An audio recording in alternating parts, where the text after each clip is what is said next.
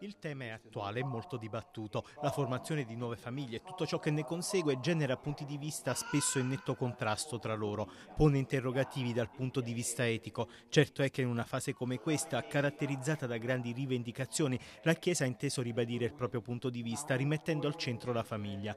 Di questo si è parlato a Frosolone durante un incontro frutto dell'intesa tra il Dipartimento di Salute Mentale di Sernia, la parrocchia di Santa Maria Assunta e il rettore dell'Eremo di Sant'Egidio. Un tema che bisogna cercare di comprendere bene senza mettere da parte la famiglia, quella che noi chiamiamo famiglia, perché solo dando sostegno alla famiglia noi possiamo risolvere i grandi problemi.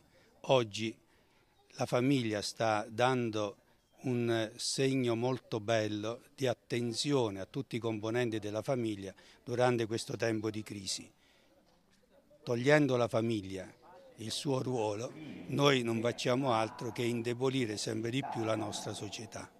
Uno degli aspetti più delicati nella formazione di nuove coppie riguarda la gestione dei figli, comprensibilmente più fragili dal punto di vista psicologico. Direi che il problema principale, oggi la famiglia tradizionale è in crisi, c'è una riduzione del numero dei matrimoni, sia civile che religioso, e ci sono nuove forme di famiglia, la più importante che interessa noi che facciamo la clinica sono i figli delle famiglie ricomposte, cioè quando i due genitori si separano dal coniuge e poi ricompongono una nuova famiglia, magari con la nascita di nuovi figli. Lei capisce che il problema diventa quello del figlio dei genitori biologici, quello dei nuovi figli e questi ragazzi hanno grossi problemi dal punto di vista psichico, dal punto di vista dell'apprendimento, parecchi dei giovani si rifugiano nella tossicodipendenza, le ragazze nei disturbi del comportamento alimentare. Quindi eh, eh, siccome questa situazione è in crescita in tutta Italia, prima in particolare al centro-nord, oggi anche nel sud e oggi anche nel Molise,